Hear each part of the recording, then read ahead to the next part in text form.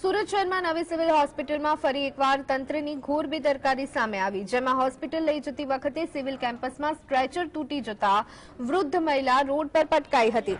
Stretcher કટાયેલી સ્થિતિમાં હતું, જેને ખાસ કરી અને ડ્રેસિંગ કરી કાપડથી બાંધવામાં આવ્યું હતું.